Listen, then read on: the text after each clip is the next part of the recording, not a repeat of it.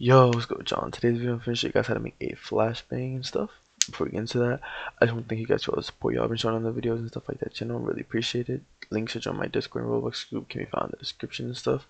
But yeah, so if anyone here has watched uh my grenade video, where like a video was like it's literally extremely like it's very similar to like uh what's it called the video I'm doing right now and stuff. The script is literally just a little bit like things are a little different and stuff.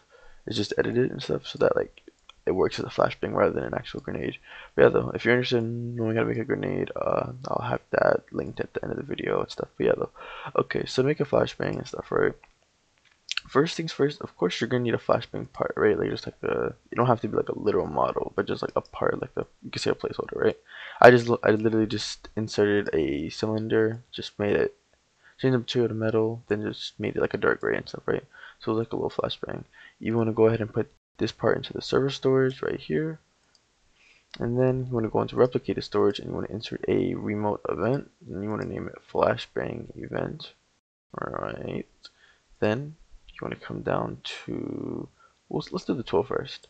So you want to, want to head on over to starter pack. You want to insert a tool. To name this, you can name this flashbang, right? And then make sure to untick requires handle, right? And then you want to insert a local script into the tool and then you want to have it as flashbang then request in parentheses. The reason why it says request in parentheses is because this is requesting for the flashbang to be uh we'll say thrown. We'll say that yeah. We're sending over like the look vector coordinates and stuff to the server but yeah though. So you would have your flashbang event as a variable then we would get the player's mouse then we will fire the mode event when the player activates it which means when the player like left clicks while they have the tool equipped it was it would send uh, what's called the mouse coordinates over to the server, right? So we're done there. We're done with the tool there, right? We come over here to the server script, flashbang. This is the handler because this actually does the actual things, right? We have our flashbang event. Then we have our actual flashbang and server storage apart. Then our max distance, like the amount of how far apart we want from the grenade, from the grenade to the player. That's like the distance pretty much like they can be affected by it and stuff like that. Like whether or not if a person's 20 steps away, will they be affected, or 30 or 40? It really depends on your preference. So first things first, when the, when the uh, what's it called? We're connecting the remote event and stuff because the on-server event, and then we're getting the player's character. We're cloning the flashbang from server storage. We're naming it. Well, actually, you can make this flashbang because yeah, I forgot to change that. But yeah, flashbang. Then parent it to the workspace. Then uh, we're making it C-frame, character humanoid root part. C-frame which is like above the player's head. And then here, let's impulse. This pretty much is how it's like throwing the, like it's throwing the flashbang forward and stuff, right? Then we're waiting two seconds before the effects take place. Then we're going to get all of the uh, children of the workspace and the players and stuff. This, or what we're running through, this is uh, right here. This is to make sure that like we're getting everything in workspace and as long as there's something in workspace and its name matches something in players then it will continue which pretty much is a way to identify if it's a player and not like just like a part or something. And then yeah then we're gonna do we're gonna get the humanoid root parts position at magnitude right? We're gonna subtract the humanoid root parts magnitude minus the flashbangs magnitude.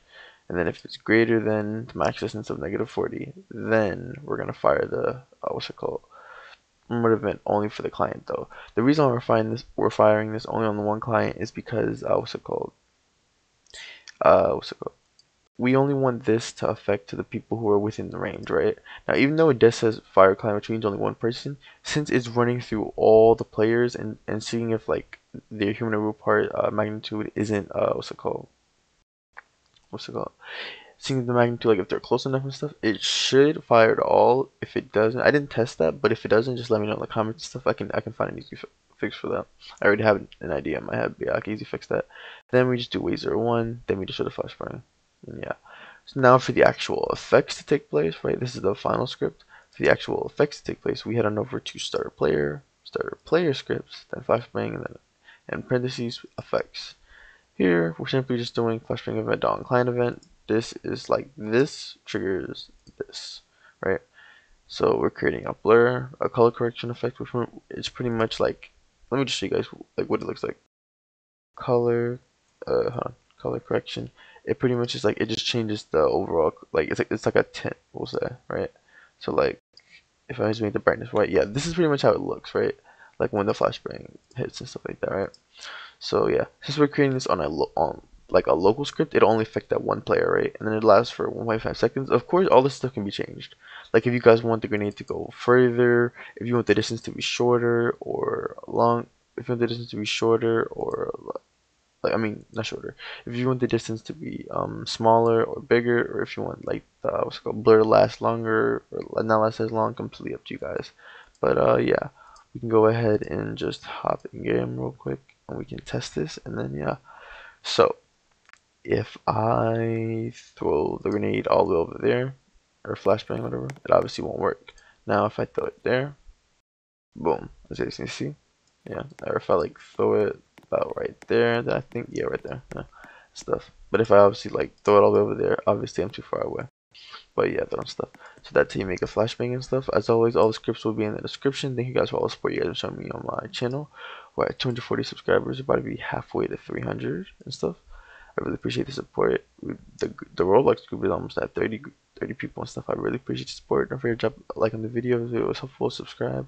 Leave a comment down below, join the Discord, and DM or ping me if you need help. Or and yeah, I'll see you guys.